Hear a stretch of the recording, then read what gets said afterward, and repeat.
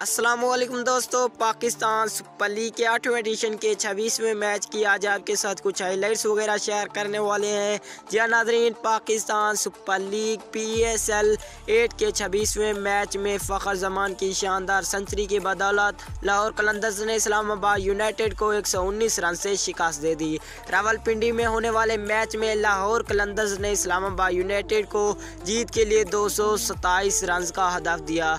लाहौर कलंदर्स ने पाँच खिलाड़ियों के नुकसान पर 226 रन बनाए, जिसके अंदर फ़खर जमान ने सतवंजा गेंदों पर 115 रन बनाए और फ़खर जमान की इनिंग्स में आठ छक्के और आठ चौके शामिल हैं। कमरान गुलाम इकतालीस और सेमन बिलिंग्स ने बत्तीस रन बनाए। ड्यूड, वैसा, छः और अब्दुल्ला शफीक एक रन बनाकर आउट हुए। राशिद खान पंद्रह रन के साथ नॉट आउट रहे। जिया नाजरीन इस्लामाबाद की जानब से फ़सल हक फ़ारूकी ने तीन खिलाड़ियों को आउट किया।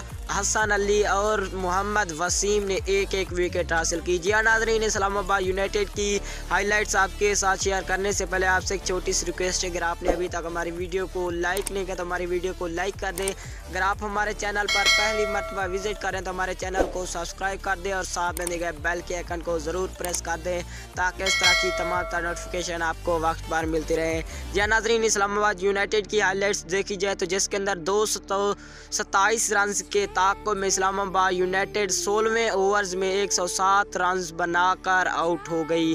हसन अली और अलेक्स हिल्स 18 18 रन बनाकर नुमाया रहे। रहमान उल्ला गिरजा 15 शादाब खान बारह और कोलन मिनरू ने ग्यारह रन बनाए। आसिफ अली सात फ़हीम अशरफ चार और मुबसर खान तीन बनाकर आउट हुए। जी हाँ, नाजरीन इस मैच में फ़तह के साथ ही लाहौर कलंदर्स ने पीएसएल को क्वालिफाई मैच में जगह बना ली है।